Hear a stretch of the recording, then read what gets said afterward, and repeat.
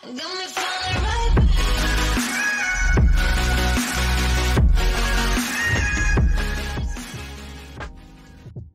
is up guys, welcome back to the video. In today's video, I'm going to be showing you guys the best Minecraft Bedrock X-Ray glitches.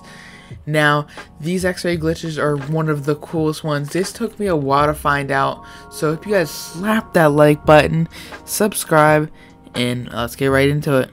Alright guys, so some of these are actually early like games, like the pig one is early game, this one this one, the pig and this one are early game, and then the bed one's not early game, and the boat one's not early game. So we're going to start off with the best one, which is the pig. So first what you want to do is you want to make sure you have a saddle and a carrot on the stick, as I do right here, and then after you have a carrot on the stick,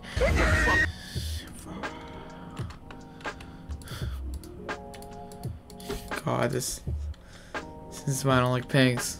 Alright guys, we're going to be starting off with the best glitch. This is going to be the pig one. So first what you guys want to do is you guys want to make sure you guys have a pig in a um, saddle.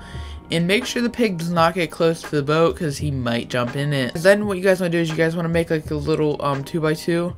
And you guys want to make sure the 2x2 has um has slabs on the top of it. After you do that, you want to have a carrot on a stick. You want to go right into it, and then it'll start X-raying. You want to, you basically, basically, you already, you're already X-raying. You guys, this is the best one because you guys can extend this however you want, and you guys can see, like, you see the mob spawner and all that. This is better with night vision too. Alright guys, the next one is going to be another really cool one. It's going to be the boat one. Now this one, all you need is a boat, and basically you guys need to just kind of time like where you want to go. So like, basically all you gotta do is like, as you seen here, I all, all you have to do is go in and out. You want to break a 2x2 right here, below, and then place the boat. And then after you do that, you basically just want to go in and out and find out where the sweet spot is, and then you guys can see. Alright guys, so this next one is actually going to be pretty easy.